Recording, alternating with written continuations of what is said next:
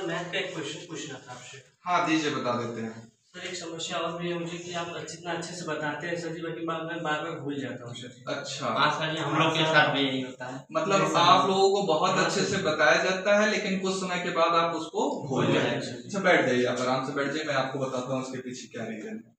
अच्छा एक बात बताइए मुझे कि अभी आपके दिमाग में क्या चल रहा है? सर जी मेरे दिमाग में चल रहा है कि अभी इंडिया का मैच देखने जाना है। अच्छा पहला रीजन है कि आपको इंडिया का मैच देखना है। दूसरा? सर गाय को चारा डालना है गाय को चारा डालना है और सर धान काटने जाना है। धान काटना है। विक्की ये देखिए आप जैसे ये गिलास है ना मैं आपको एक एग्जांपल से समझाता हूँ। इसमें अगर मैं पानी डालूँगा तो एक निश्चित समय के बाद ये गिलास क्या हो जाएगा? भर जाएगा। भर जाएगा।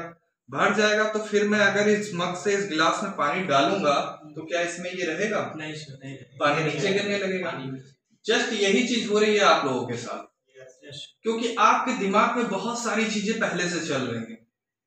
और फिर मैं उसमें ज्ञान डाल रहा हूँ। तो वो पानी जैसे गिलास में एब्जॉर्ब नहीं हो रहा है उसी तरह से वो ज्ञान आपके दिमाग में रह ही नहीं पा रहा है। वो तो बाहर गिर जा रहा है। हाँ तो इसके लिए सबसे पहले अपने दिमाग को स्थिर करना होगा हम लोगों को। अगर चीज़ों को ज़्यादा लंबे समय तक के लिए हम लोगों को सीखना है तो। तभी हम ज़्यादा लंबे समय तक किसी चीज़ को सीख सकते हैं याद रख सकते हैं जब हम लोग अपने दिमाग को शांत करके एकाग्रचित होकर के किसी भी चीज़ को पढ़ेंगे। समझ में आई बात? तो अगर हम लोगों को ज़्यादा लंबे समय तक याद रखना है किसी भी चीज़ को तो अपने दिमाग को शांत करना है खाली रखना है और उस चीज़ को पढ़ने में रुचि दिखानी ठीक है। है. समझ में आया? है।